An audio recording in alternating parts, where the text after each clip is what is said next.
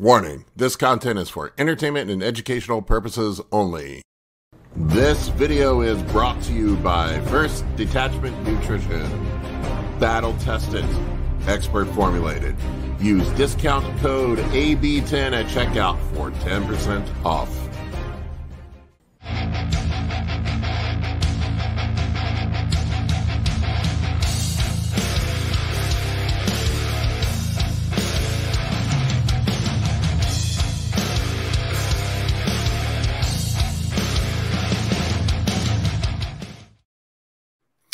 All right, folks, I'm live here with the man himself, Justin Harris. We are going.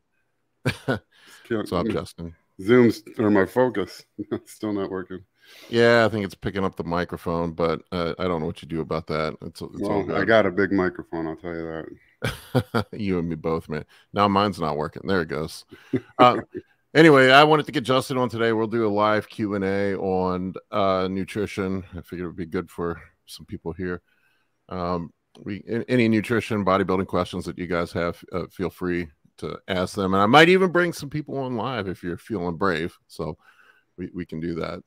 So what's been going on, Justin? It's it's contest prep season. I'm sure you got somebody competing every weekend. Yeah, I just had a, a girl, Christina Sutton, win uh, overall in both figure and physique uh, yesterday. She's uh, uh, get ready for Masters Nationals, so she's uh, got a couple more weeks for that had a, a number of. I had a guy, uh, well, a bunch of people. B.J. Henry did well. Uh, Abby uh, Pfeiffer did well last week. I had a client, two shows now, absolutely inside out shredded. I mean, striated glutes all the way up to, to, to the lower back, just just shredded, not placed well. Two shows in a row in classic, and it's driving me crazy because it's not, you know, it's not like his shape is terrible. And you see the other placings, and they're you know they're really out of shape compared to.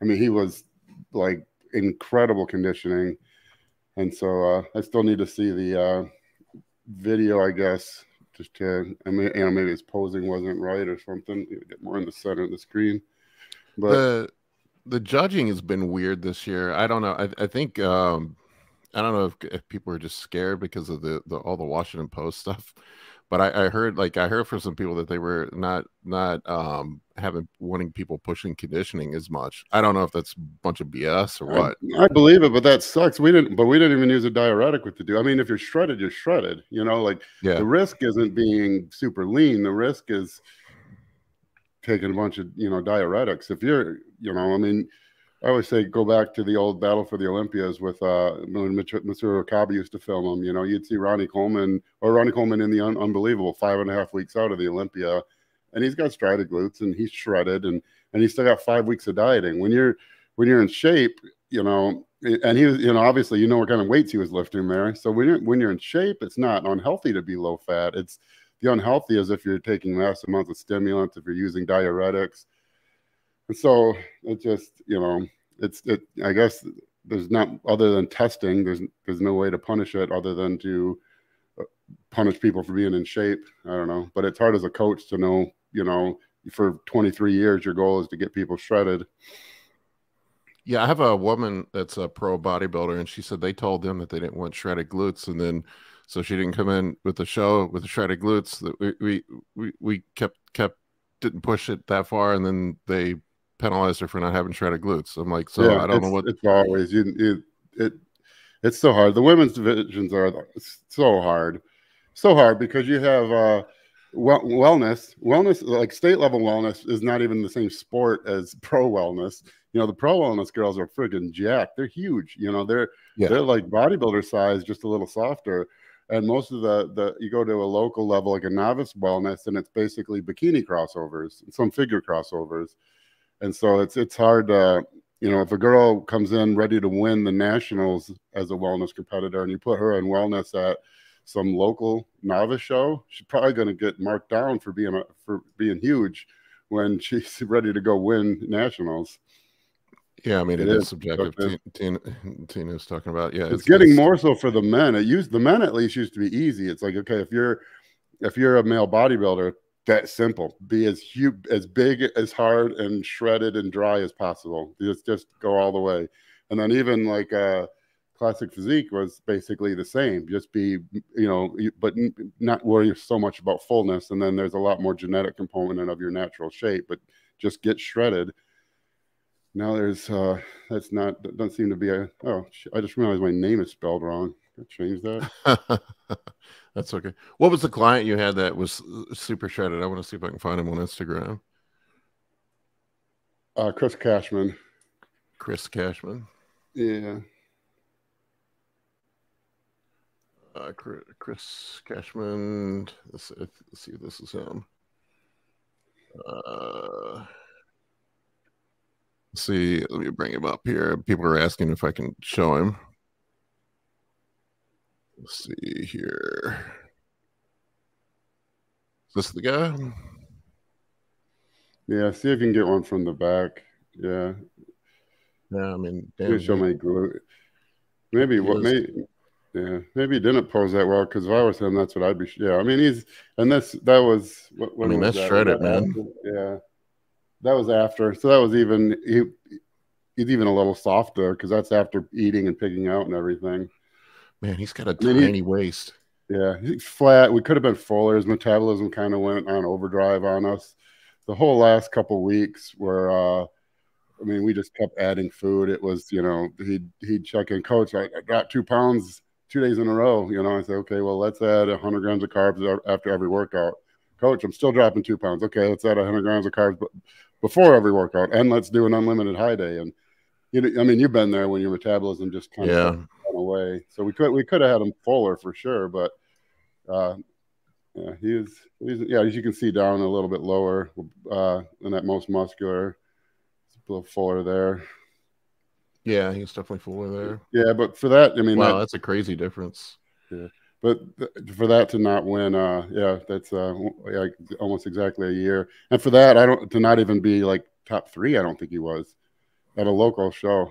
And then, and the, I mean, no, no offense to the other competitors, but it, it wasn't the Atlantic states, you know, or the, or the California. And you said he was classic.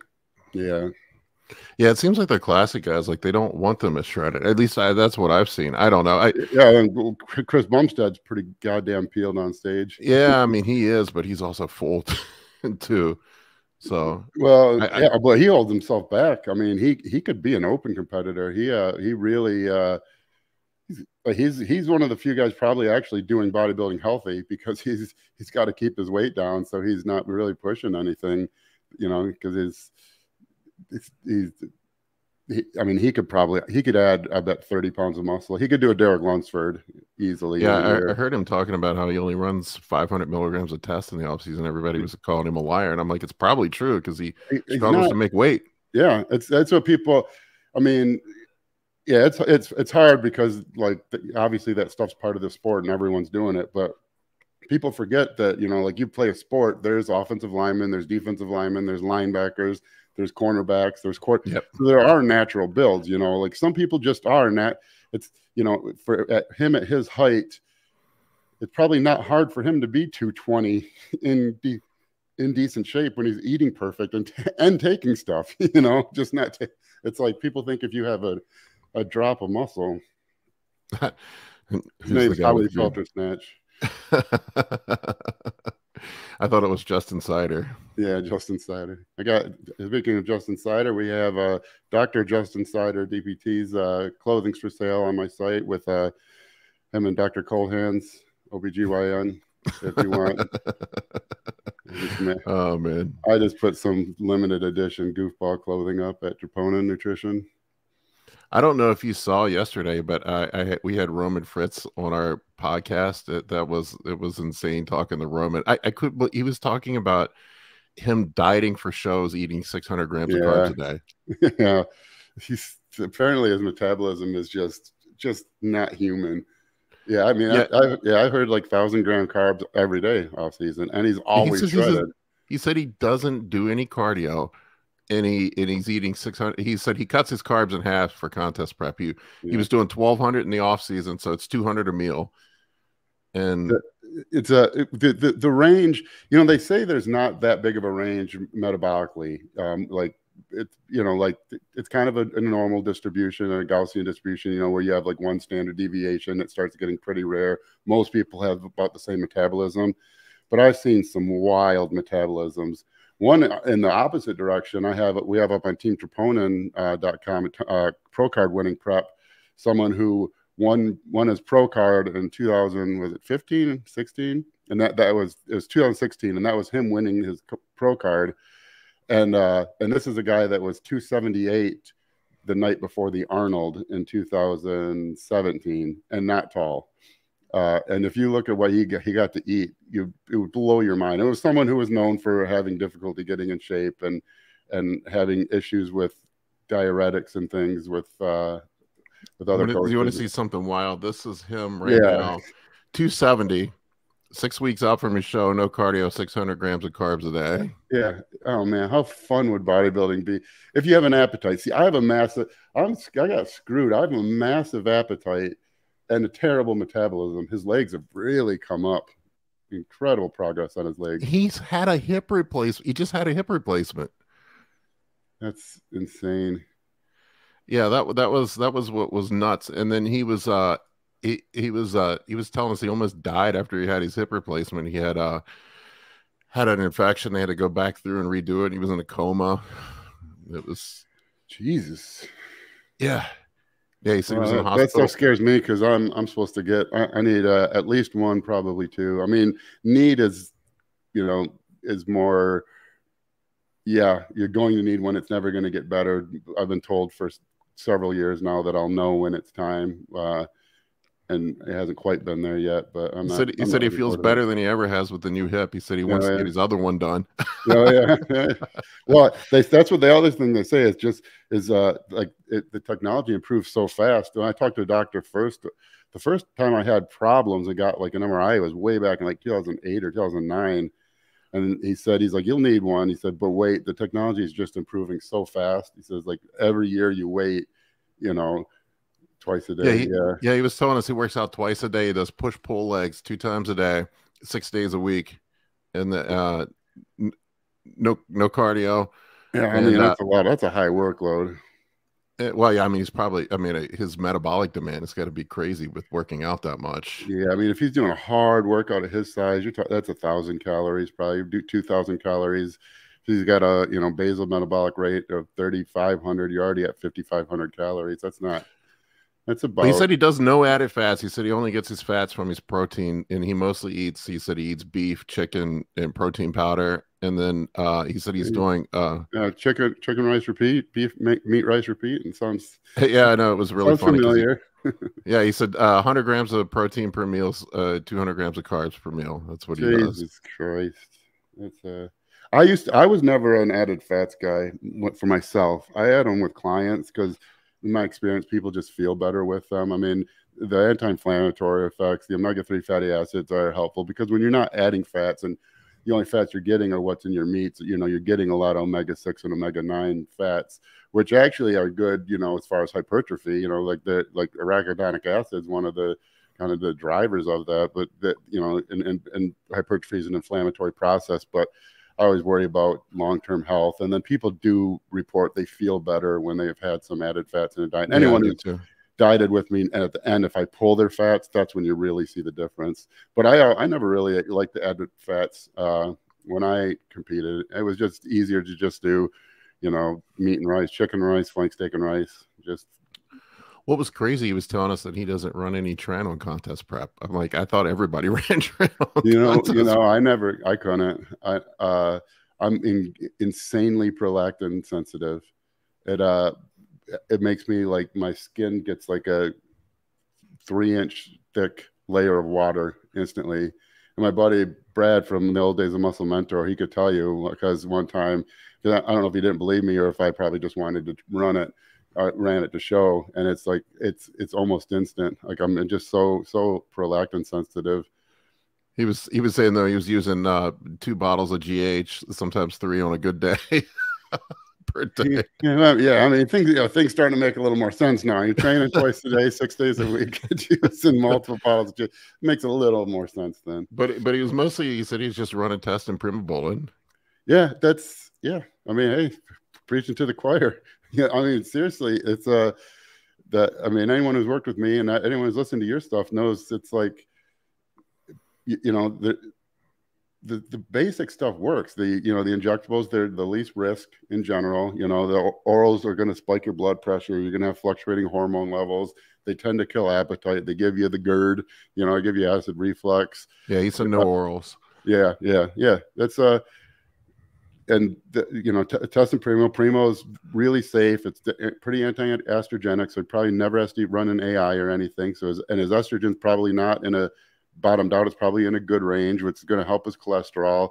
He's the only thing he's really doing, all the GH, but the test is going to affect blood pressure that much. He's not getting blood pressure spikes from the orals. Like that's what you know. I've been preaching for years. Is that's that's the way to go. Test anabolic GH insulin and then find kind of your upper limit to where you feel sluggish or it starts affecting your appetite. You want to hear about the diet dedication? He was telling us he was in the hospital for two weeks after his hip hip surgery. Yeah, and he's like, the food sucks. He said, so I had my wife bringing me. He said she was bringing me a kilogram of chicken every day, and he had, he had his had his rice there at the hospital with him. I believe that. I believe I've heard he's uh, never ever off plan heard he's that way. Uh, a weird one that I used to hear back in the day would be Paul Dillett. Uh, was was it Paul or Chris? No, it's Paul Dillett, and it was uh, then I think Tom Prince said that was like his genetics were insane, you know, and people it would say he didn't train hard, but he never ever ate non non bodybuilding. It was just every meal. If they went out to eat, even it was he was ordering, you know, top sirloin and a plain baked potato or whatever. Yeah, I mean that's usually what I do for my cheap cheap meals. I, I hit the uh although here lately I've been having trouble getting my food in. Uh I, I I'll go to I usually go to Texas Roadhouse and I'll just get a steak and two baked potatoes. Yeah. That's my cheap meal. Yeah. I don't I don't even know if you really call that a cheap. Bad.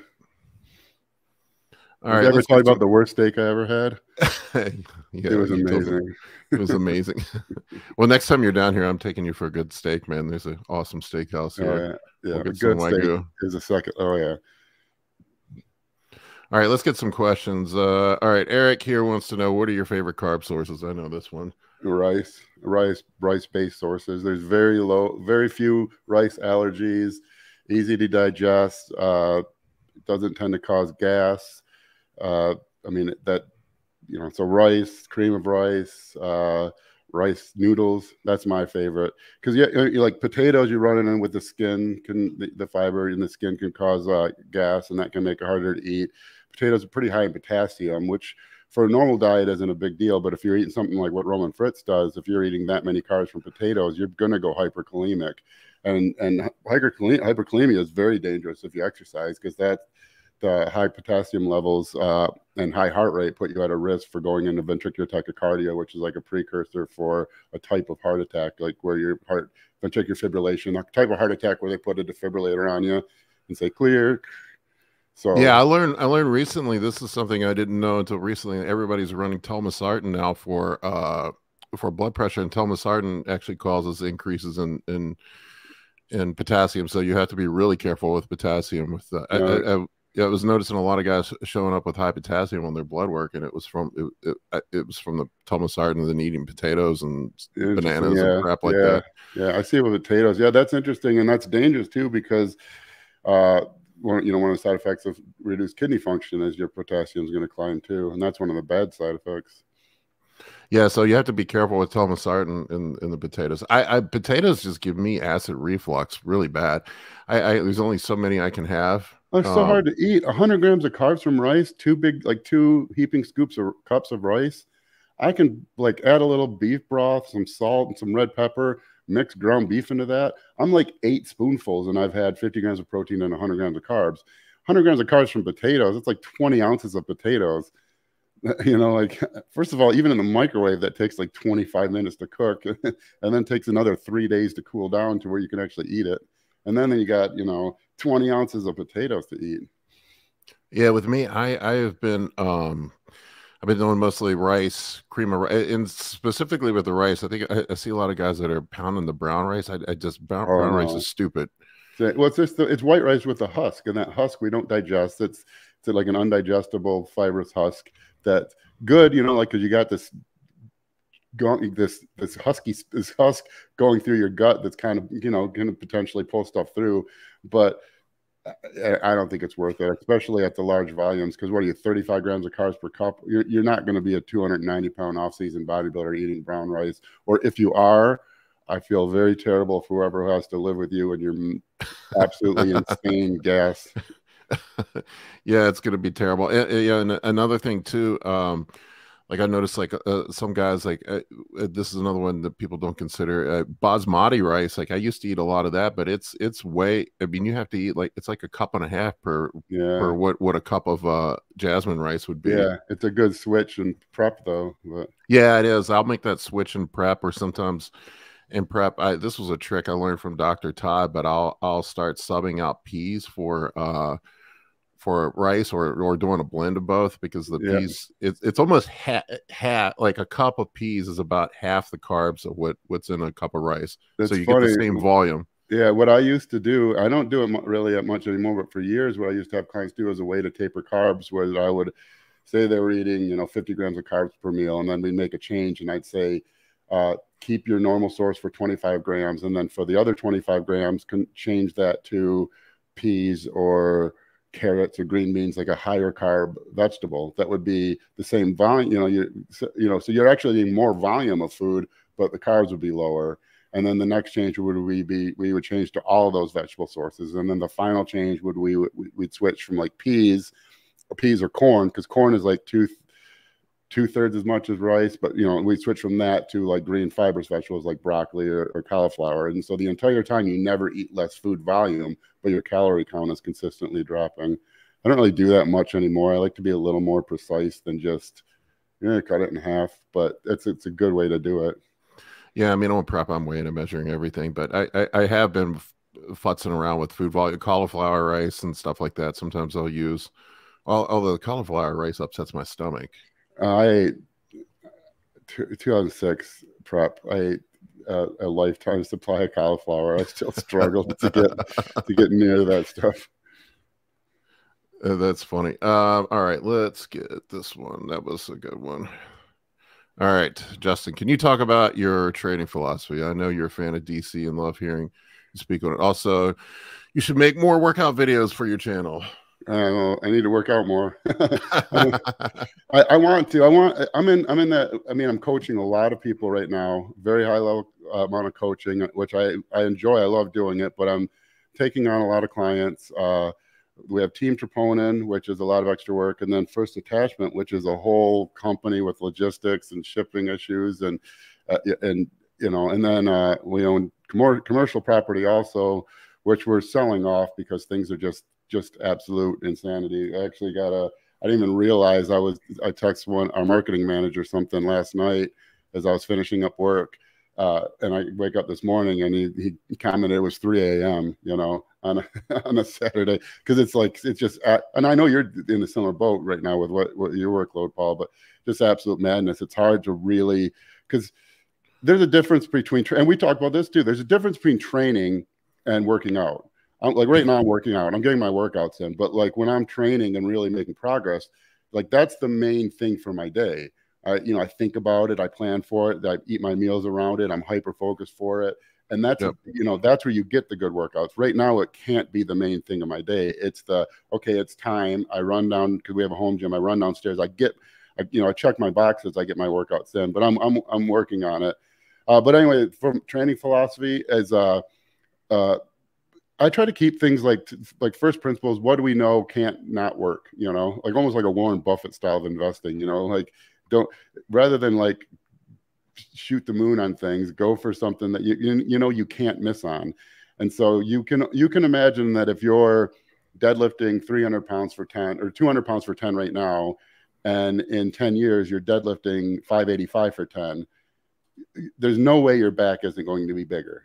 There there just isn't. You know now, that might not be the most optimal way to grow back thickness, but you know that's the case. And so that's basically what I try to do is I try to pick I don't but I don't do movements. I try to pick movements that work a muscle, make sure that muscle is doing the work, and then I try to increase the weight on that movement, provided that the muscle still does the work. Uh, but uh, but there's also sarcoplasmic growth, which is more volume related. Mm-hmm. And I get I get like tied to DC and like low volume more than uh, I think I deserve because like if anyone's bought my critical mass program, you'll see that it's not low volume. Those are those are long ass workouts. No, it's very it's they're pretty long workouts. Yeah, I mean there's there's progressive overload. There's there's sets where you do where you work up to one heavy all out set where you're trying to set a PR each workout. But then there's a lot of additional sets also. So, so but my training philosophy is basically that. I don't know exactly what builds muscle but rather than just go in and move weight around and hope something happens, I like to find some way to make some trackable metric. And for me, that was progressing in weight, provided that I didn't change my form on a movement, I didn't rest longer before the heavy set. I didn't change, you know, do anything to give myself a mechanical advantage. You know, I got stronger because I was actually the muscle actually got stronger. And it doesn't happen every workout, but over time it does. And again, you know, like you, are not going to find a guy deadlifting 585 for sets of 10 conventional who doesn't have some back thickness or or as at least have a thicker back than he used to. And then really my training philosophy is that that's what you do so that the food can make you bigger because the food does all the work it's funny your your style of training was almost to a T how I was training when I when I met met up with you and I, I bought your book and I looked at it I'm like like this is my fucking workout man it's almost exact it's almost the exact same workout I I do more volume now I think people get confused like they think I'm not I'm not doing progressive overload I, it's just uh I don't know how much you've looked at like Dr. Mike Israetel's stuff yeah. uh-huh. but it's it's more and I heard I heard when you were on with Stan Efferding, he was talking about how he's training like that now. But it's, yeah, it's, and mine mine's changed that way a lot more as I get older. You know, it's just it hurts a lot more. Yeah, I think for a young guy, I think I, I, training age plays a plays a, a factor into it. Like for a young guy, I feel like it's progressive overload, just get stronger, learn how to lift properly. It's it's it's a different it's a different way. But like now, like my my blo- I'll take blocks. I'll take, although I'm hurt now, I can't really do it. But I'll take like a five or six week block, and I'll take a weight, a weight, and then I progress the volume up. I finish that block, and then I'll add more weight to it. So it's it's still progressive overload. It's just that you're progressing volume on a given weight, and then when you hit a cap on that weight, then you move the weight up. Yeah, and, and in general, uh, in general, I think people worry way too much about training I do too. What is you know everyone at the gym is training, you know, and everyone the first thing they get interested in is training and designing workouts. And I remember being in like high school and like in my notebook like planning out my workouts and that's the first thing everyone gets excited about is training. That's the first thing everyone tries to get really good at. And everyone in the gym is doing it, but not everyone in the gym is big. So and then the next thing they try usually is is uh, uh, you know anabolics, PEDs, and they get bigger but not everyone in the gym looks like a bodybuilder or a top level power lifter or whatever. And most of them are using PEDs and training. And so then there's the third variable that the, the, the fewer people are doing, and that's the, like what we just talked about with Roman Fritz, the ones that are uh, eating obsessively and not just eating pizza. And people, and I was, I was a, uh, the, it was took me eight years to to kind of finally accept that fact because I, I'm a fat guy naturally. I don't like chicken and rice. I mean, no, I don't think anyone does. Nobody I like eating, does. and I have a big appetite, and I like to eat. Uh, you know, it's very easy to convince myself that eating big to get big, you know, was was a thing. But it, uh, it, you don't look like a bodybuilder until you eat like a bodybuilder. And if you eat like a bodybuilder and train like a pussy, you'll you'll still probably look like a bodybuilder. If you train like an animal and eat like shit, you're probably not going to look like a bodybuilder. I mean, Paul, Paul Dillett is an example of that. Yeah. Yeah, I mean, exactly. a lot of the young guys probably don't know who he is, but uh, he he had a reputation for being sort of soft with his training, but meticulous with his diet. I mean, that's what I heard. Yeah, yeah, yeah, always would never, uh, no matter what, never. Uh, yeah, uh, Bob Cicherillo used to talk about that. They'd go, you know, like middle of the off season, anywhere traveling, doing an expo, order the same food at the restaurant. You know, ground sirloin and a, or t- sirloin tip and a plain baked potato. Yeah, supposedly he was meticulous with, but you can look at there's a sample size. If you just take, I don't know why people, it's it's right there for you. All you have to do is look at what all the pro bodybuilders are doing, and like training wise, it's like uh, it's all over the place. There's, but but for the most part, most of the guys are, are doing some sort of a bro split or push pull legs. Yeah. Mm-hmm. That that's that's pretty much the routine they they they do. There's some people that do high volume. There's some people that do low volume. Some people that use heavy weights. Some people that don't. But the one thing you see in the pro ranks that's consistent is the PED use. It, it's pretty much similar between all the guys, and the diet. that that's that's pretty consistent. Yeah. And the, the the the other thing, like I like to do the numbers. You can you can run numbers on all all these things. So they estimate that as many as three million Americans use PEDs in a given year. And so there's like 350 million Americans, but let's just to round it to make it easy, say 300 million Americans. So that's one in a hundred uh, Americans use PEDs in any given year. One in a hundred. Now, 98% of the people that use PEDs are going to be male, probably. So you're talking like half that population, one in 150 now, or I mean, uh, one in 50 people use PEDs. And now that's everyone. That's counting two year old boys and 98 year old men.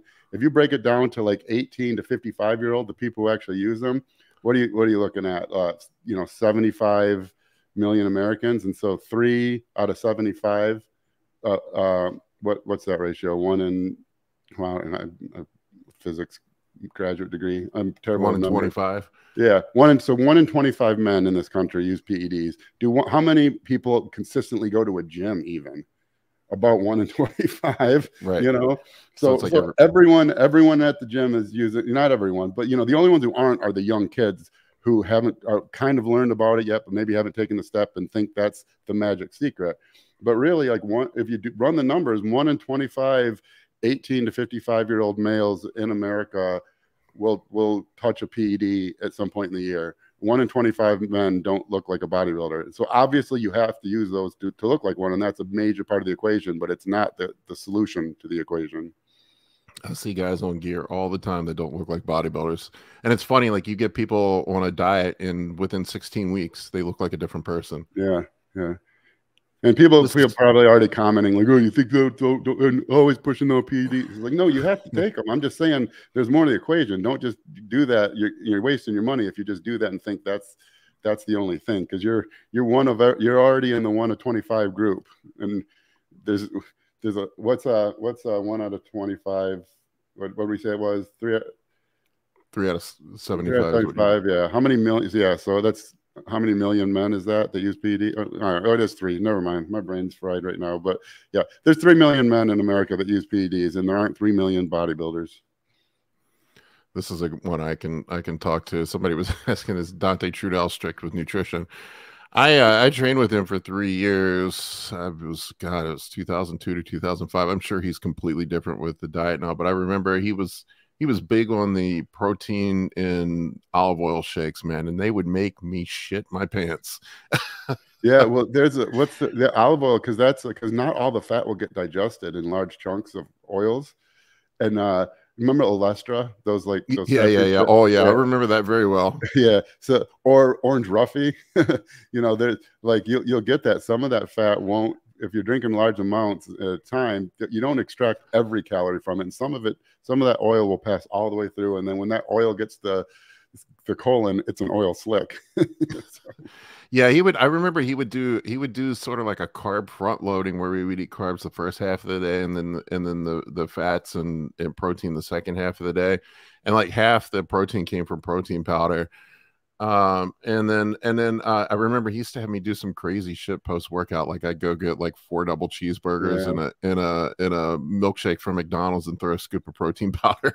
yeah, we got to think like with, with with Dante is like it's it's cool because he made like a little niche that's still around and he doesn't mm-hmm. post much at all anymore and people are still what they're interested in it because it's so different but what dante was doing was he wasn't working with someone who was prepping for the new york pro you know, he was working with the, he was talking to 21 year old kids who were still 118 pounds or 145 pounds, you know, and didn't want to be that way anymore.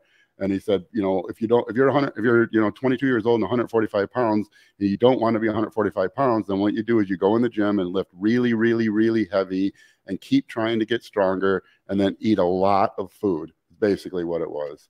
Yeah, and I remember when I when I would want to diet or anything, he would have me hook up a skip. Anyway, yeah. he would just he would just like talk to Skip.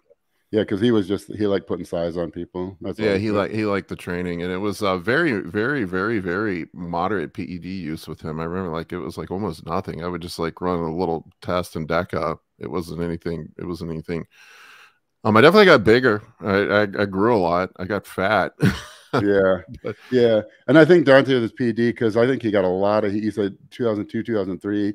He did the cycles for pennies in 2000, 2001 and mm-hmm. I think he mentioned a gram of test maybe, and got like because people got a ton of flack and people like lost their mind on that thread. It ended up being like a like a thousand page thread, but uh, so I think he like really like pulled back, like even mentioned his he was never like he was always light with PEDs, but he, I think he pulled back even a little further after that just to avoid the excuse me, avoid the hassle. Yeah, I took the cycle for pennies and um, revised it and kind of cleaned it up. I, I, have a copy of it to download on my website if anybody's interested. So if you're interested, I still talk to him occasionally, but he, he posts yeah, some stuff up on his blog blog now and then. But uh, yeah, I mean, he was. I don't know. I don't. The diet wasn't really his thing. He would just. He was. He was just eat a lot of food.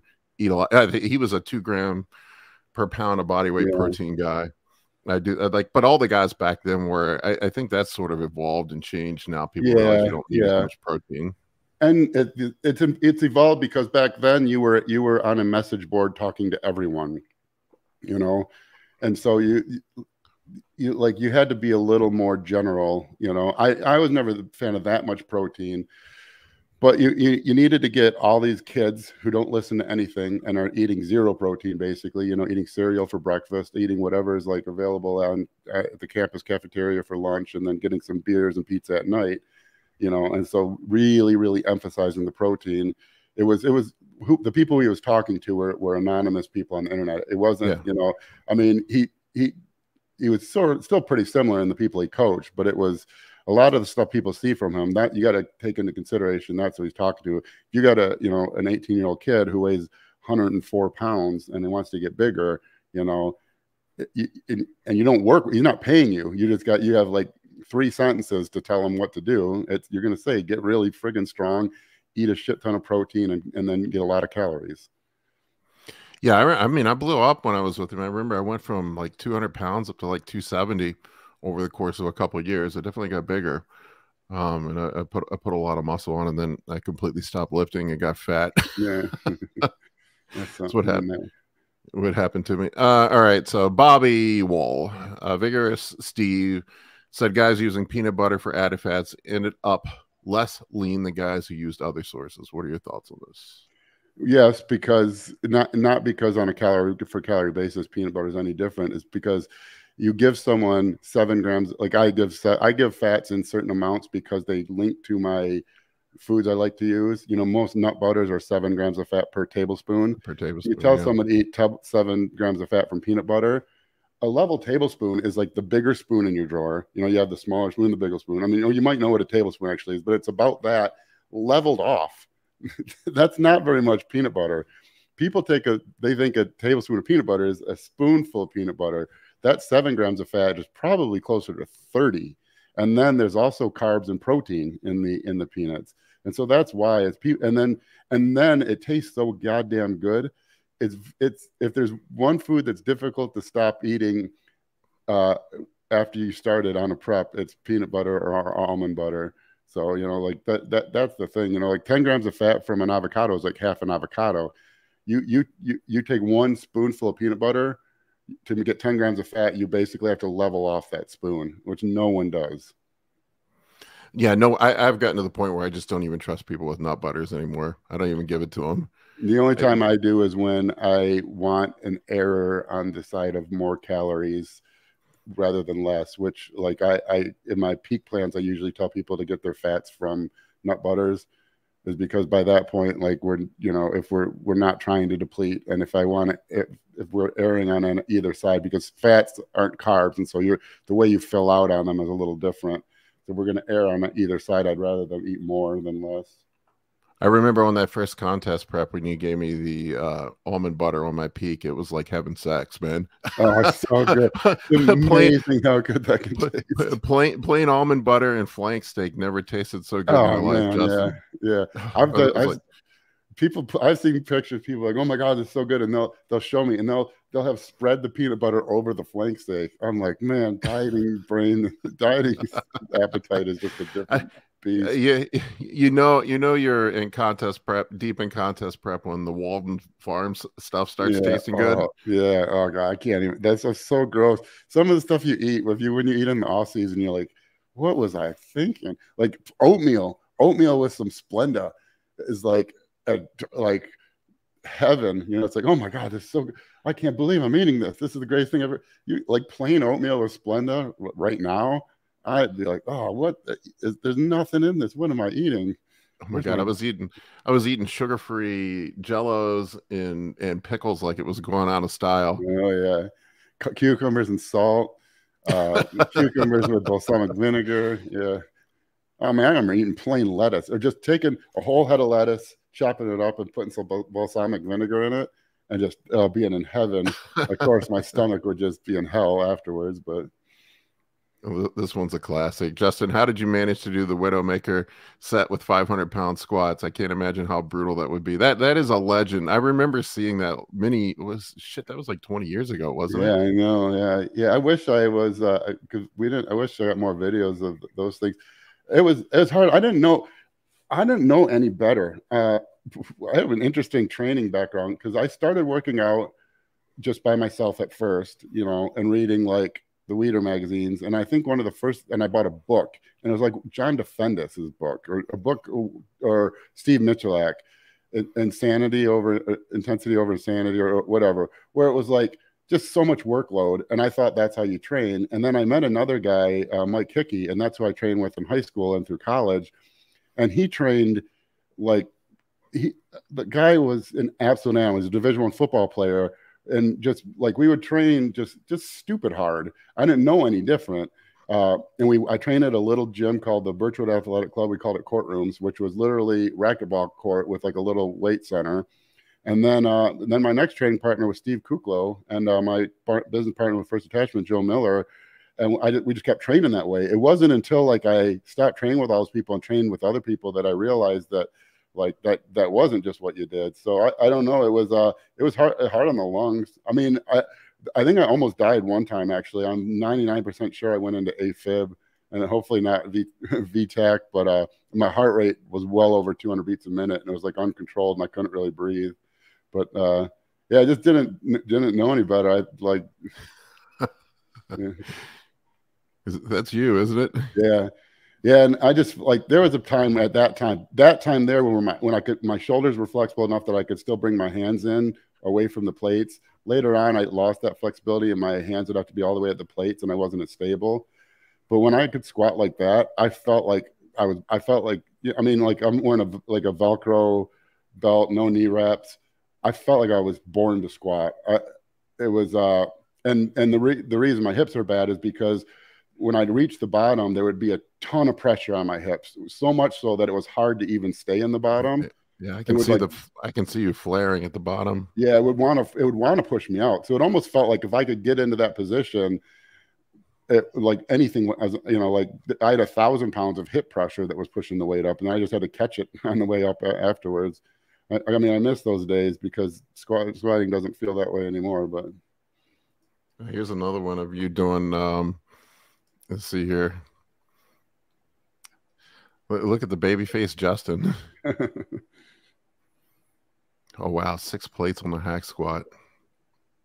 Yeah, I think at least 20. One of these I might do 40. I remember Dante was big on those Widowmaker sets. I, I, I did I did do 405 for 20 at one point, but like I don't squat anymore, and people are asking me why I can't, why I don't squat. It's I just can't even. My, my shoulders are so fucked. I can't get my hands under the bar anymore. Yeah, it hurts. Uh, it, it hurts so much now. but yeah, I just I, I used to. Yeah, I just used to really love doing. I can even see you getting the that hip flare on the yeah on, on the. Yeah, I mean it was obviously bad for my hips, but like it it was Good for building quads. yeah, it felt like I was just born born to born to squat. All right, uh, let's see what we got here. Um, yeah, I think we talked about this. Would egg noodles suffice as a substitute for carbs besides rice? Yeah, yeah, follow me. Yeah.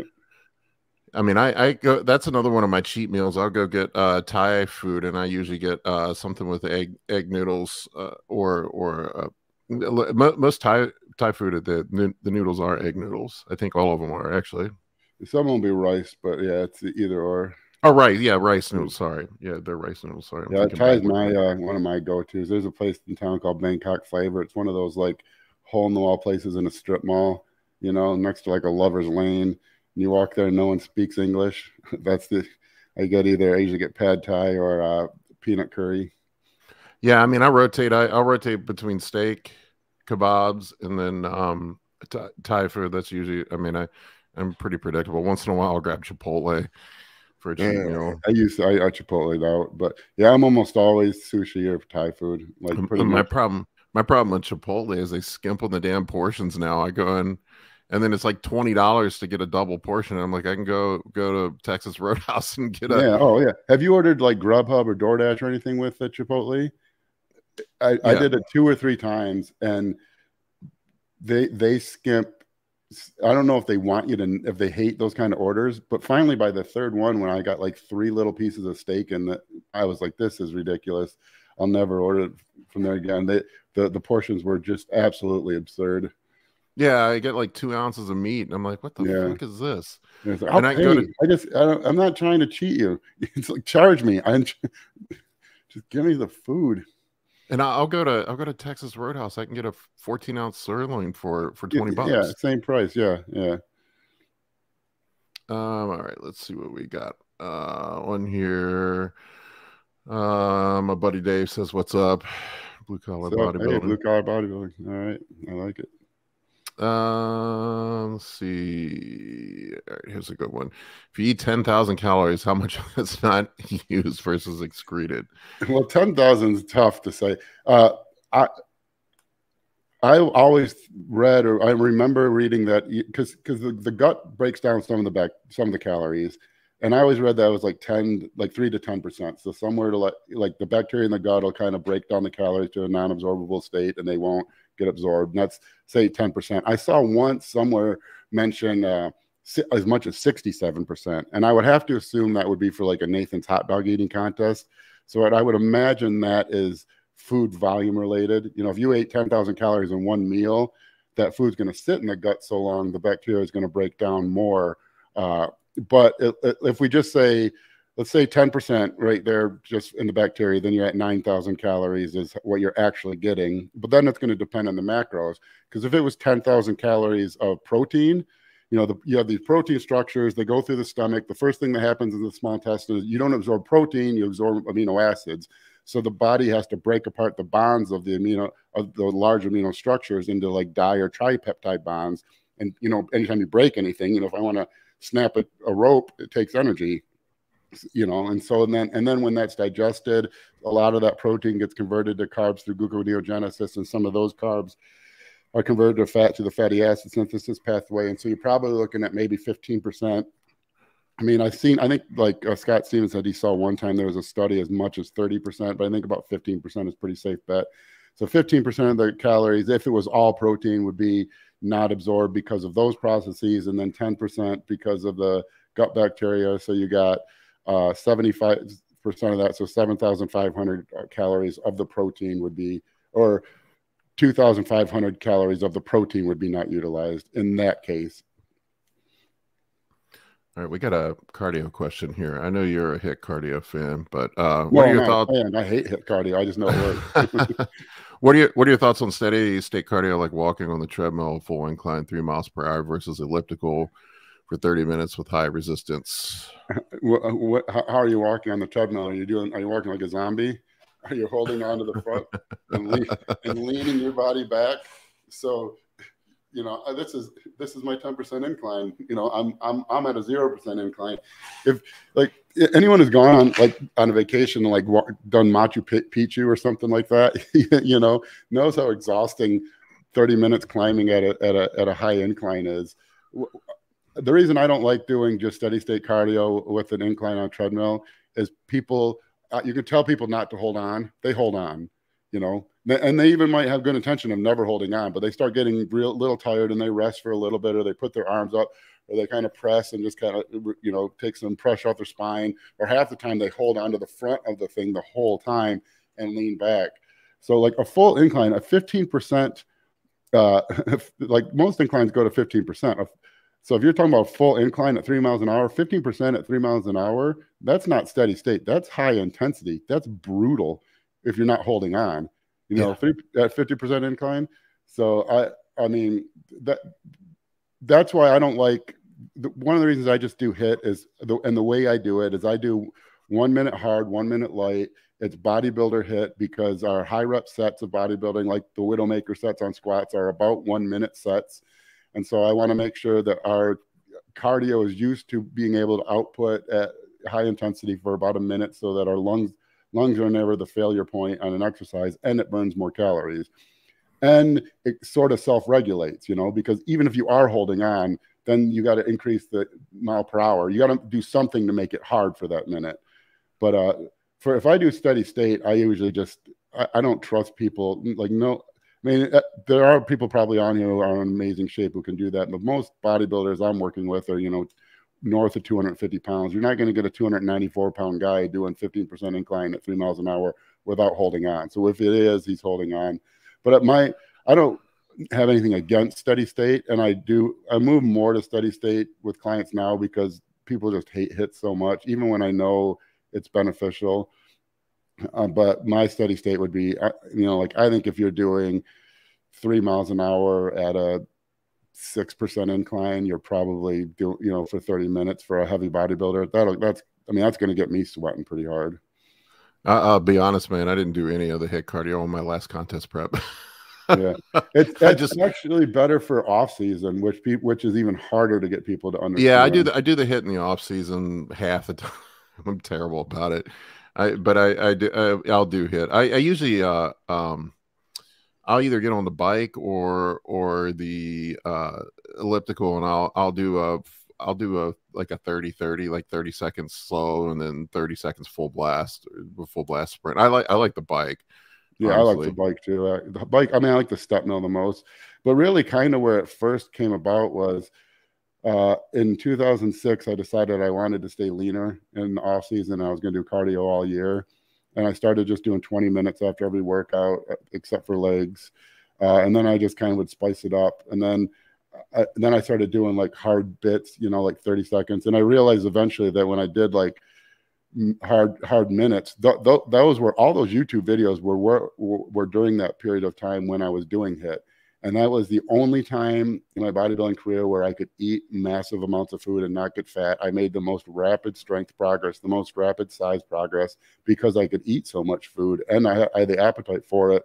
And my metabolism was always flying. And my training was you know, like uh, you train with someone and they like do bent over rows and they quit at rep eight because not because they couldn't get another rep, but because they, they haven't been able to breathe. Yeah, it's like, well, how are you growing then? You know, like I know you, I know you don't want to do cardio. And I know people think cardio is going to make you small. I don't want to be a runner. You know, I don't, I don't want to be a cardio bunny. But you're not growing when you run out of breath before your muscle fails on bent over rows or deadlifts or squats either. I was going to ask you about step mill and contest prep. It seems like everybody does the damn step mill and contest prep, and what I've mm-hmm. seen every time, like like like I've seen a lot of guys when they do step mill on contest prep, they end up just completely nuking their legs. Their legs shrivel up. I I see the opposite actually. I think really. I, yeah, because I see them shrivel up from from long duration treadmill cardio huh. the most. I mean, it depends on what what how much you're doing, but I mean, I'll give, I guess, two two ways of looking at it. One, I'll say, uh, if you watch The Cost of Redemption, Ronnie Coleman does 45 minutes on the step mill about two hours after he did that leg workout where he squatted 800 for two, and that was That's the off season. Kai Greene does 15 minutes of the step mill before every workout, and Kai Greene's legs. I mean, I haven't seen him in a while, but Kai Greene's legs at their peak were about. I mean, they, they were just impossibly enormous. Uh, and I, the, one of the reasons I like it is uh, you know you can't spot reduce you can't pick where fat gets burned from but the fat needs to when it's oxidized it needs to get into the bloodstream you know. And if you just if you're just standing there and you put your hands on your on your butt, your butt skin's probably cold. It's not a high, vol- high blood flow area, same as your stomach, you know. And so by doing the the step mill, you're getting blood flow into that area of the glutes. And so as your body burns fat systemically, you can't pick where it burns. But now, if there's now that there's blood flow to that area, it seems like it's probably more likely that some of that fat will be oxidized from the glutes and hamstrings where you want them to be. And then I find, I really, really do find, because I think the total step count. Now, this is a loaded question because what I'm picturing is a is a bodybuilder doing uh, the step mill at a pretty low level. You know, I'm, I'm not picturing them doing at level 15. I'm, I'm, I'm picturing like one of my super heavies doing like level two and three for their low, light minute and level six or nine on their hard minute, you know. Uh, uh, and uh, and then for their list, they probably are just walking. But when you're walking, if you're walking two hours a, a day, that's a lot of steps, a lot, a lot of low intensity.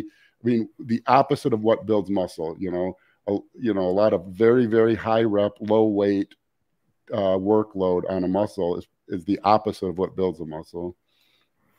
I mean i it, it's funny like you'll see cyclists they've got gigantic quads. Yeah yeah yeah. And so it's, it's that thought. I mean you can over obviously you can overdo it. If you're doing you know 30 minutes on the step mill twice a day six days a week at, at you know at, on level 10 that's probably you know you're going to eat it. I mean, maybe not eat up muscle tissue, but that's a lot of your that's a lot to ask of your quads and glutes.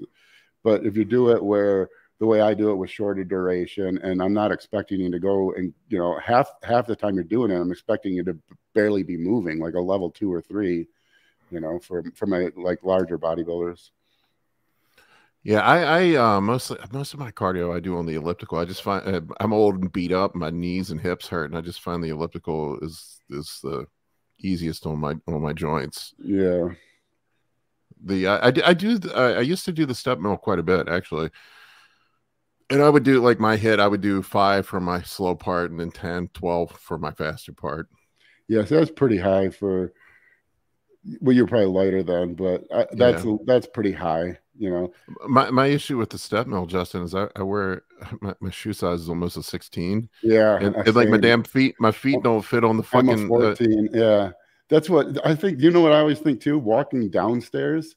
Like if I'm at a like just at some place where there's a lot of stairs, so I'm a 14. I always think like, how does Shaq uh, walk because you can't land on your toe, like the ball of your foot, because your ball of no. your foot are so like you got to like heel land all the way down, or like turn turn your foot like duck walk I yeah, I like, to like duck walk sometimes. Yeah, if you got like a 20 size 20, how does that work? Those guys are because I always feel like I'm like I'm like you know, like right on the edge of America's Funniest Home Videos, embarrassment of sliding down the stairs because I'm always just that heel landing right on the edge.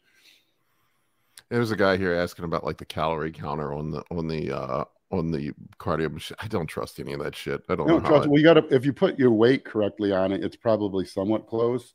But if it doesn't let you put your weight, don't it could it doesn't the number means nothing. But if it lets you put your weight, I, it's not like I would I wouldn't trust it in that I'm gonna I'm going to say uh, I ate at my BMR and the cardio counter says I burned 500 calories, therefore I'm going to burn one pound of fat a week.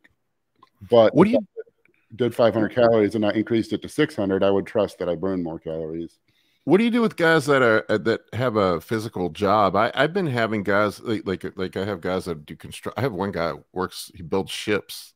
He's yeah. like, like he's constantly moving. So people like that, I, I have been having them wear like either a Fitbit or an Apple Watch and just track steps. Yeah, I do. Uh, uh yeah, I, I've been. I go through. You know, I always go through phases. I've been done this so long. Like you just because so many things work. You know, and it's just kind of like what you're like into using, I guess, but I've been using a step count a lot more. The problem is, is uh, like not everyone can be a top bodybuilder, and it, there's more than just genetics. You know, if you're working a construction job where you're working six twelves and you're doing twenty three thousand steps a day, it's good. You, you, genetics aside, you got a, a uphill battle of becoming a top bodybuilder. You know, people, it's like some you know like you do what you can but people like it's so weird with this sport that people don't consider those things you know like no one no one decides like you know what i want to play left tackle for the detroit lions and and and think, well, uh, you know, I'm not six eight three thirty, so it's probably not going to happen, you know. But but if I work really hard, or no one thinks, you know, like you know what, I'm going to be the best. I'm going to be a pro NBA basketball player. All I got to do is take steroids and dribble a lot. You know, it's like, you know, or or I want to, you know I want to be a pitcher in the majors. All I got to do is take steroids. Yeah, you take steroids and you you go from throwing you know 64 miles an hour to 67, and you get a good pitching coach. You're going you're going to throw 69. You ain't making the majors. You know, there's there are genetic components that it's frustrating because in this sport, PEDs play such a big role that people want to just completely ignore the genetic components. But you know, like people know why LeBron James is you know a good basketball player, and no one would expect otherwise. You know, and no one, you know, you know like Mike Tyson just had quick, heavy hands for whatever reason, you know, and that wasn't, you know, it's not like like Joe Tyson down the street and could take some PEDs and and punch like that. I know so we've talked we've talked about it before and, and with the genetics, but like uh, basketball is the most obvious example of it. I mean, you yeah. can look at it. I I, th- I think uh, we talked about it before. Like the median height, I think in the NBA is like six seven, six eight, yeah. and that's like a fraction of one percent.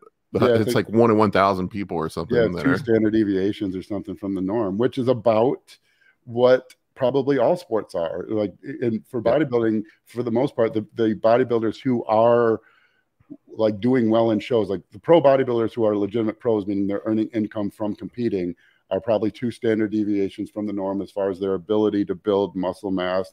You know, their their various like levels of like myostatin. you know, just the way it is. You know, it's just the way it is. And if you don't believe it, like you'll learn it when it, most people haven't believed it, have never just got the chance to watch one of those genetics genetic people come up the ranks, you know, like at your gym.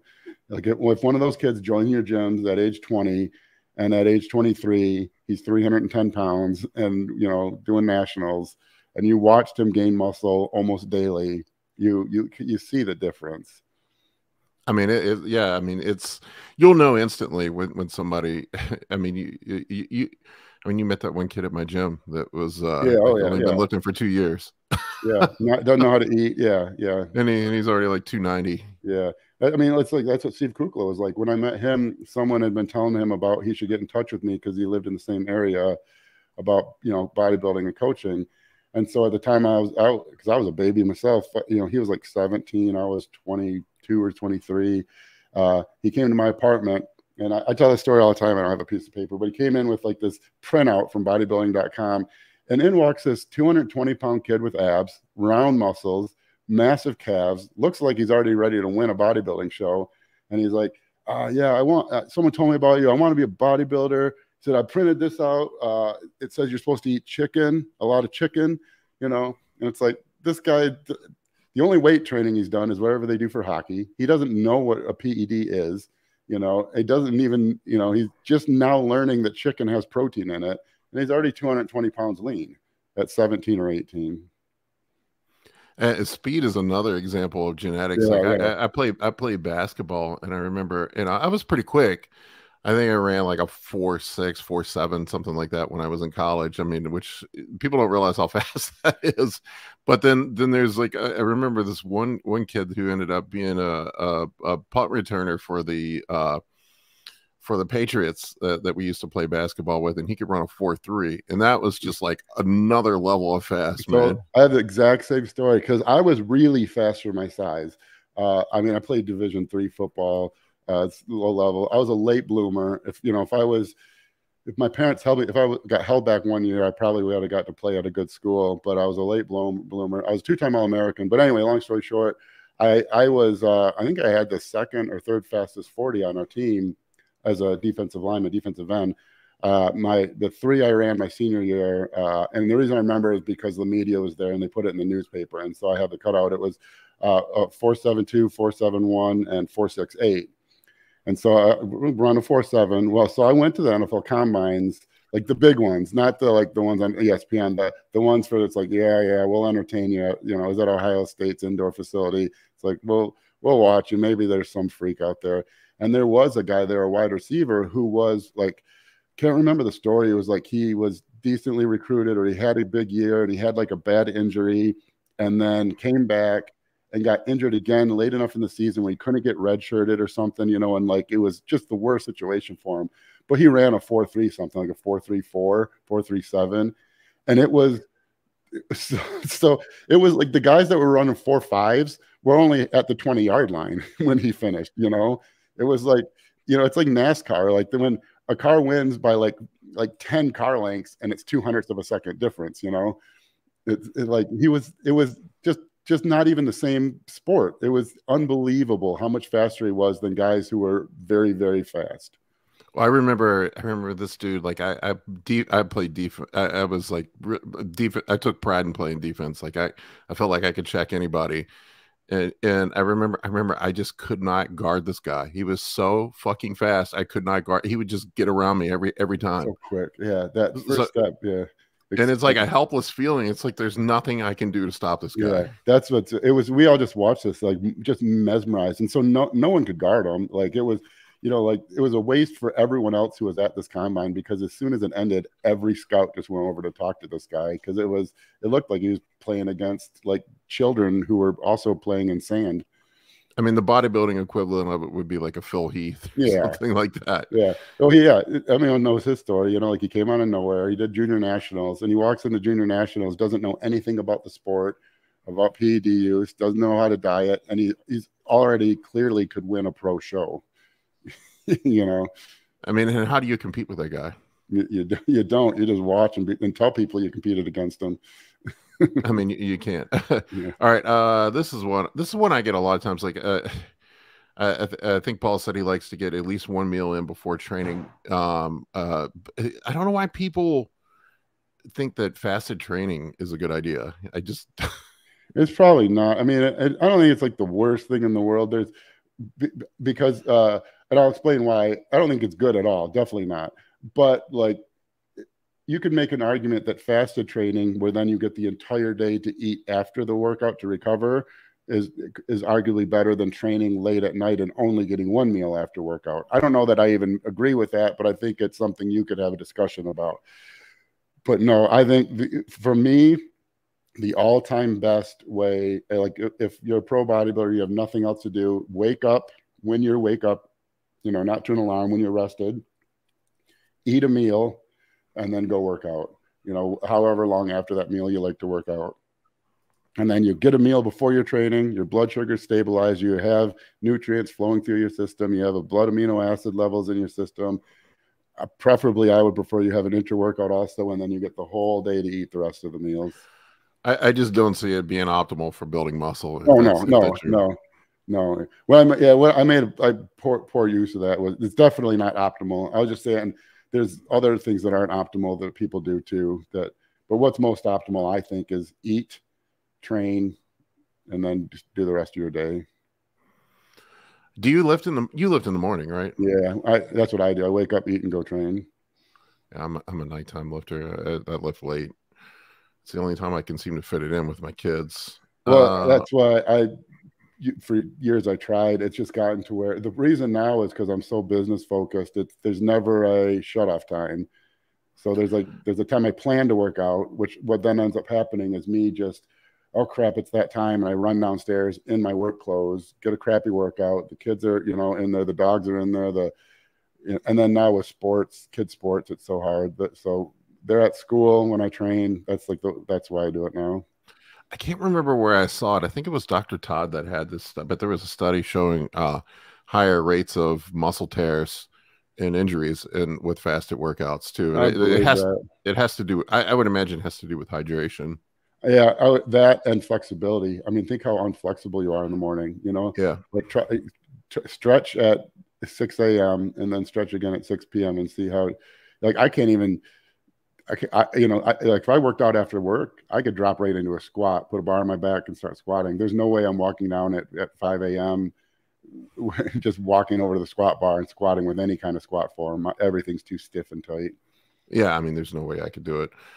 All right, uh, this is a good one for you. This fits in with the suppressor product that you guys sell. But uh, the best way to utilize berberine around carb meals to help stay lean and drop some fat the best way is to use it every day. Uh, it, it's not just like it's not like a people think it like blocks the carbs or something like that. It, it doesn't. Berberine works uh, generally through a cascade reaction with IGF one to increase the the the pancreas's ability to produce insulin and and maintain stable blood sugar levels. And so, and it's got a short uh, half life. So, really, what you want to do is at least three times a day.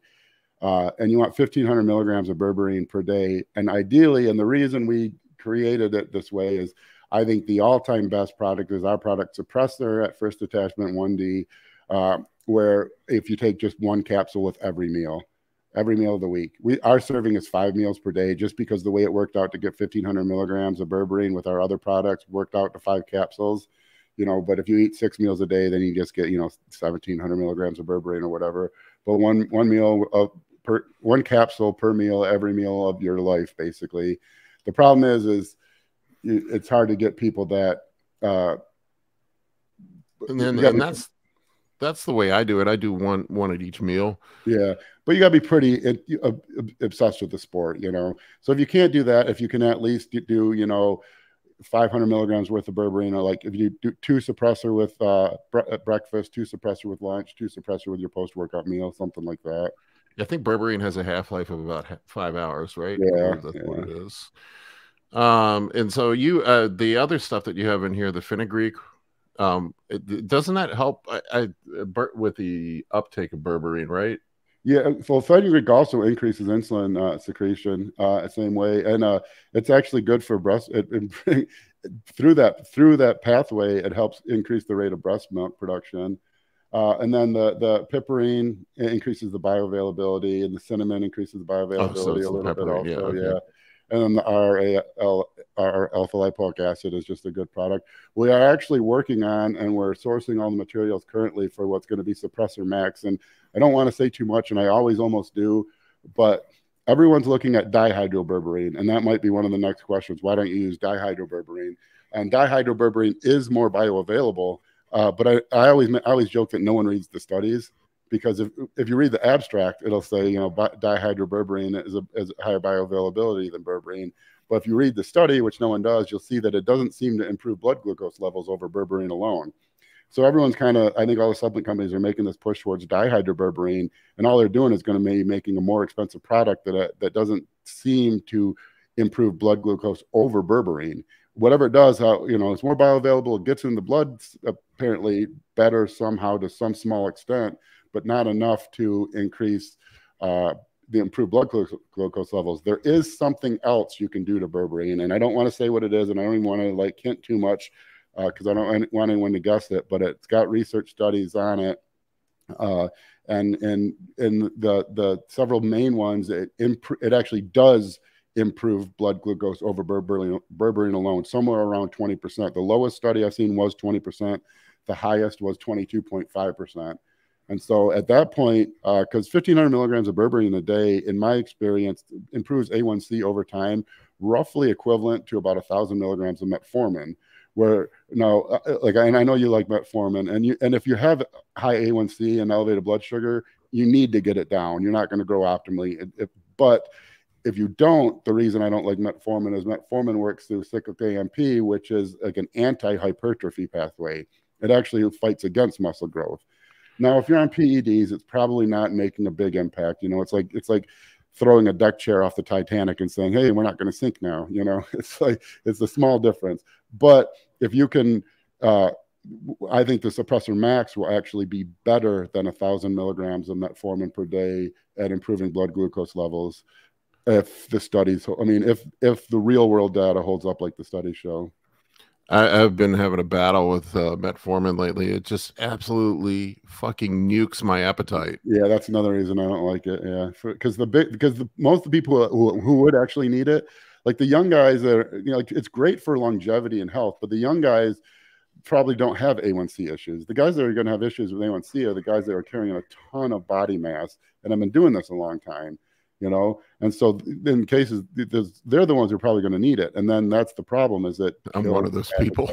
yeah and it just it kills appetite. Where berberine doesn't do that. Berberine kind of indifferent. If anything it might stimulate appetite because uh, you know igf-1 is is, is in general an appetite stimulant.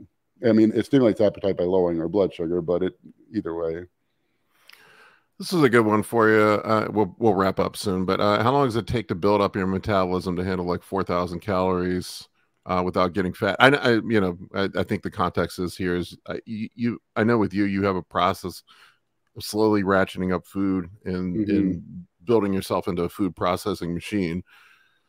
So what does that look like? Like, I mean, like how long is, is impossible to say because it's different for everyone. We have a case study up at again at teamtroponin.com. And I hate to just push my stuff, but it's a subscription website and it is a good site. But we have a full case study that shows where I followed a natural athlete. And this was years ago. His name was Adam, really cool client. I remember who, reading that. Yeah, who struggled. He could, you know, he was he, he got himself into what a lot of guys do, where they're basically starving themselves and still chubby, you know, and nowhere to go from it. And we Skinny got him. Fat yep, skinny fat. We got him from an average of about 18 or 1900 calories a day to I think at his peak over 4500 calories a day total. Eh, but for him, it took 18 months. And for and for him, it was that was the only goal. He was just sick of not being able to eat without getting fat. And so the, like hypertrophy wasn't the goal. I mean, that stuff could happen, you know, obviously, but like the way we did cardio and the way we did things was was all focused on increasing his metabolism.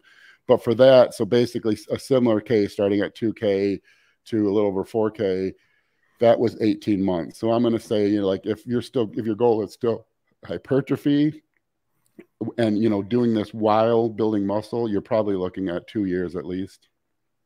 Do you have uh, time for, you have time for a couple more, Justin? Absolutely. Yeah. I mean, yeah, yeah.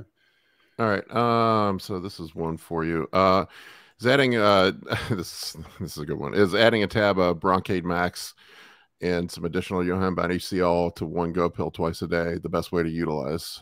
Yeah yeah and the anyone who looks at go pills they'll go pills work. They're great they're great fat burner they don't have any they don't have any of the crap that doesn't work like guggulsterones or anything like that. It's only got the stuff that actually works. But the actuality of it is as a bodybuilder and someone who coaches bodybuilders it was designed to work with like one to one with Bronkaid, where basically one capsule of GoPill combined with one Bronkaid Max is kind of the ideal fat burner. The only thing different is uh, with GoPills, we lower the Yohimbine to 2.5 milligrams because a lot of people don't, about 30% of people don't tolerate Yohimbine very well at about at five milligrams anyways. And then that allowed us to, if you notice, like our teacrine and caffeine, teacrine's kind of high, but caffeine's only 150. So that actually allows people who tolerate Yohim, Yohimbine well to do two servings of Go pills with the Bronkaid Max. And if you look, each uh, we load the bottle up. We have 120 capsules, so we're not like a 30 capsule bottle. So even at two capsules twice a day, you're still like a month supply of, of, of that. But that was yeah that Go Pills was designed to work with Bronkaid. It's basically the optimal fat fat burner so if uh, if you're going to compete in a bodybuilding show and you want basically what like me as a coach thought or thinks was the optimal way to introduce fat burners, it would be one to two servings of Go Pill per day, or one to two servings twice a day of Go Pills combined with Bronkaid Max, at starting at about 12 weeks out. And then some, a, somewhere later in prep, we'd add Clen, but uh, I'd say it's it's the CY of the ECY stack. Yeah, yeah, yeah, yeah, yeah. With uh, but with other things, I mean, we have e- EGCG uh, from green tea, which uh, is there for a reason. We have teacrine, uh, which is because the way caffeine works is caffeine uh, blocks adenosine receptors, and adenosine is like kind of like the the sleepy receptor of the body. So caffeine is less a stimulant. It's not really a stimulant. It's more of a it blocks the the things that make you sleepy. And on one one of these on a YouTube video, someone commented that that's not technically true, and it isn't technically true. There is some beta agonism with caffeine, but it's it's hard to know. And in mice, it appears to be primarily beta one uh, uh, agonistic or whatever. Discount code trope ten you can use. Go ahead and use my discount code. Or you use Paul's. Paul gets money if you use his Paul. Give him the code, Paul. AB ten. Yeah, use AB ten so Paul gets paid. Uh, and then uh, uh, I forgot where I was. Oh, but but the problem is then with caffeine is it blocks adenosine receptors, and it, you can if you take too much, you kind of feel like jittery and kind of crappy. Well, teacrine works differently. Teacrine works on adenosine also, but it works by lowering the levels of adenosine in your body, not just by blocking the receptors. So you can actually get more stimulant without feeling that jitteriness. And you can get more of the fat oxidation, more of the energy, and the benefits from caffeine and adenosine antagonists without without the uh, the jitteriness and agitation you get from just the caffeine. So I mean, a real like you know, obviously, I won't. I've been doing this a long time. If I put a product together, it was for a reason. But uh, yeah, I think yeah, that combined with with Bronkaid is it, it was meant it was meant that it, it designed that way for a reason. All right, I'm going to get uh, one last one in here, and then I, I, know you got a day in front of you. So do I. Uh, okay. Uh, what is the most low days Justin has done in a contest diet before a high day? In a week or six? yeah, I mean, sometimes you got to do what you got to do. Typically, in general, my low days are only days you don't train. And then I have medium days on days you train. But what happens in a contest prep is carbs and calories get low. And then pretty soon, even your medium days are pretty low calorie. They might not be as low as the low, but there have been lots of times where I've had to take people, some people just can't, aren't, don't get in shape. And you got to, I mean, there, it doesn't matter how hard you work. It only matters what you look like on stage, you know. And so if you want to win on stage, you have to do what it takes to win. And so there's been lots of times where I've had to do people with six low days, even six zero carb days or vegetable only days, and one high day. Man, I I have some people that just it's like it's it's frustrating. You just can't get the fat off of them. And then there's other guys there's other guys like I'm feeding hundreds of grams of carbs yeah. and they're just dropping weight too fast. Yeah, it, it, feels so terrible for the guys who want it so bad. And I was a lower metabolism guy, so I can feel for them. But the guys that want it so bad and just don't have the metabolism. I, I tend to be the opposite. It's like my metabolism just starts yeah, spinning faster and faster. that's what, yeah, like yours is good, but then you got to pay real close attention because it's like it'll get a rocket lit underneath it. And uh, that, that Chris Cashman was the same way. He was his just took off on us too, and it's a weird phenomenon when that happens. Why do you think that is with some people? I mean, I it seems no to be idea, the exception, not the make, rule. Doesn't make any sense. I mean, like if you go first principles and say well, evolutionarily, that's terrible. That means in times of famine, they're the first to die. I guess maybe that's good. It's like, well, there's no more woolly mammoths to woolly mammoths to kill. At least I don't have to live a long time. I'll just starve to death real quickly. You know, I don't you know, I don't know. Some people just like from from the cardio and and just it's like a cascade of everything, and they're they just things just rev up. They're hot all the time. It's, yeah, uh, that's what happens to me, man. I hear guys talking about getting tired and stuff at the end of contest prep. I'm like, I'm the exact opposite, man. I am wired up. I mean, I I I am. yeah, I, I was hot. I was a tired guy. Yeah, it's it's so interesting to see how differently people respond to things. But yeah, the I don't have a reason because most things make evolutionary sense. You know, like being tired makes sense because how do you survive a famine? If how do you, if there's no food, what's the easiest way to survive? Don't move. So you can imagine your body. The people who survive famines would be the people who, well, for whatever reason, their body sent really painful signals that they were too tired to do much activity until food came around, and then hey, there's food now. Let me go kill it. Now I'll be fine. So that that makes sense. The people whose metabolism like rev up don't it doesn't make sense to me but it happens uh, all right i got one more this is actually a good one I, am going to squeeze this one uh do, uh, do you tend to go uh, lower cardio or food first or do more cardio or do food lower food probably but they're pretty in, in sync i don't really do much with cardio i usually have people start prep about 16 weeks out almost everyone because it's, it's just really hard to get in shape. I'm not one of those 20 week prep guys. Like I know Matt Porter was like sometimes like a 24 week guy. I think best about 16 weeks, people really start struggling mentally. Uh, it used to always be 12 through the 90s and up until the mid 2000s. It was everyone did 12 week preps. But then the problem with that is if you get sick or if you if anything happens, you're screwed. You got no leeway. So I like to do 16 weeks. I don't really increase cardio at all until 12 weeks. It's all diet changes until 12 weeks. And then basically from 12 to about six weeks up, the diet and cardio both ramp up really quickly because I like to pretty much have things maxed out about six weeks out, where I call that hell week usually. And then basically from six weeks out until you're stage ready, we just push you and push you and push you. And you have to be flat and you get flat and you get small and you look like shit but if you get ready in time, then we can start bringing food back in which we were able to do the last prep with you. The first prep, I don't think we did it well enough, but, I mean, I know we didn't do it well enough the first prep, but if we did it at all, but well, I mean, I had no idea my metabolism was going to do that. I don't think you oh, did man, either. It was no, it was wild. Yeah.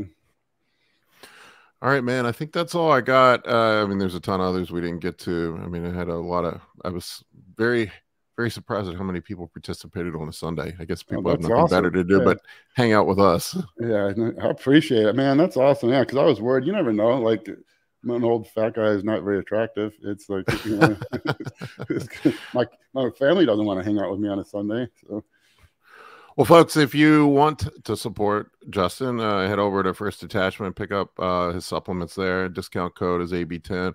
Also, Team Troponin, um, Justin's um, uh, membership site where you uh, information on training, PEDs, nutrition. If you want to get the inside information on how everything's done, head over there and sign up for a membership. It's 20 bucks a month, right, Justin? correct. Yep. Yeah. yeah. Which is a good deal. You should be charging more. Yeah, There's a lot of stuff. Yeah, Paul's going to be adding some content there too. So Yeah, I'm going to be adding some stuff here soon, so look, be on the lookout for that. Well, I appreciate you coming on. I want to just just say, and then Okay. my, my my main site because I actually do have a couple openings, which is rare. Uh, TroponinNutrition.com. Uh, if you if you're looking for a coach, uh, it because contest seasons. This is kind of the time of the year where from from April to late June is madness because it's all the state shows, and so but then those guys start falling off, and you start getting openings. Uh, and then you know, and then you got the the, the summer is all the, the pro qualifiers, and then the the fall is again the the nat, the state shows qualifying for the nationals and stuff. But uh, so I have some openings. So, but but don't if you if you're interested in working with me, troponinnutrition.com, send uh contact us or whatever, and, and then you will see if you know if I have a spot. Well, I can tell you if you want to catch a good rebound after your show, That's don't miss out on that, guys. Hit hit, hit Justin up for that. I'm I, I can't tell you how many people miss out on that rebound. Oh it my just God. blows my mind. Yeah, it's like you could see it like. The, you could see the progress you've made. You can see what like David Lamartina made. You could see what uh, uh, uh, uh, Dominic Trevellini made, what Ben uh, Pollack made. What, I mean, over and over and over again. It's like it just blows my mind that people don't do it. And you don't have to do much. It takes you know just for one more month. You have to be. You don't have to even use a lot of PEDs. Just for one more month, you just have to be pretty diligent with your food, and boom, you'll be bigger than you've ever been. It just blows me away. Like like most coaches will pull guys off of everything and then do Yeah. this stupid reverse diet out of of, of Yeah. shows. Which is why and I, you could see i mean like we want a case study. How many how many guys compete eight years in a row trying to win heavyweights at nationals? You know all of them a lot. I've never had a guy stay in the same weight class more than two years in a row because of the rebound. They're they're a middleweight then they're the light heavyweight then they're heavyweight then they're super heavyweight unless they turn pro along the way. But it's every year we're adding i mean like yeah, like guys, be a heavyweight eight years in a row. What you know, like all, you're putting all the, all that work to weigh the exact same as you did, you know, in 2016, 15. That's another rant I can get on, man, that I don't understand with people is why they want to stay in the weight class. Like I don't want to I don't want to go up to the super heavy. I'm like, why? But, I mean, I understand like because it like the first time it's scary because if you do move up a weight class and you're not the most shredded, all, the judges are going to say like, well, you should have just stayed in the weight class, you know. But if you if if you're like 222 and then the next year you can be 246 in shape, why lose muscle to come back to 222 when 222 didn't win you a pro card the year before? I will say this: I have seen a lot of fat super heavies at the Yeah, national yeah. level. At the net, yeah, yeah, at all levels, unfortunately, yeah. Yeah. All right, Justin. I appreciate you coming on, man. Thank you for Thank um, you. and guys. Thank you for your support. Take care.